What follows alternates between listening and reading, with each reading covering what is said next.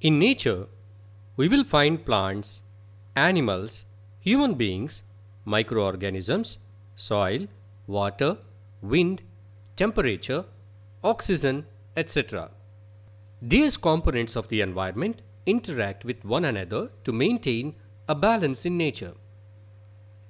The living components of the environment are called as biotic components and the non-living components are called as abiotic components. The interacting living components and non-living components of a particular area forms an ecosystem.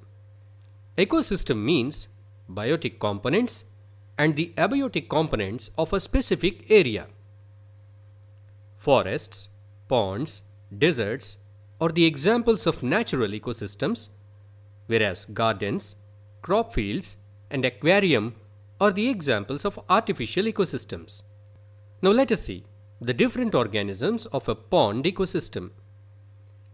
Animals like pond snail, pond skater, tadpoles, turtle, duck, mussels, leech, fish, frog, plants like water lily, lotus, duckweed, water chestnut, and microorganisms like bacteria and protozoa. All these are the biotic components of a pond ecosystem. Whereas oxygen, carbon dioxide, temperature, sunlight, nutrients, all these are abiotic components of the ecosystem. The biotic components of an ecosystem are categorized into three types according to their mode of feeding. They are producers, consumers, and decomposers. Green plants and some bacteria carry out a process called photosynthesis and prepares their own food.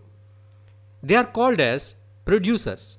The animals that feed on plants are called herbivores. The animals that feed on herbivores are called carnivores.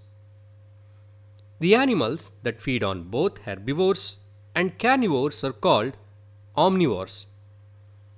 The herbivores, carnivores and omnivores, all these three together called as consumers. The organisms that feed on the dead remains of plants and animals are called decomposers. Do you know why these are called decomposers? Because these organisms decompose the complex organic substances into simple substances. This process is called as decomposition. Thanks for watching. Please like the video. Please share this video with your friends. Please subscribe to Grade Booster channel. Press the bell icon to get all the latest updates. Check the description to find links of other useful videos. Check the end screens for our new videos.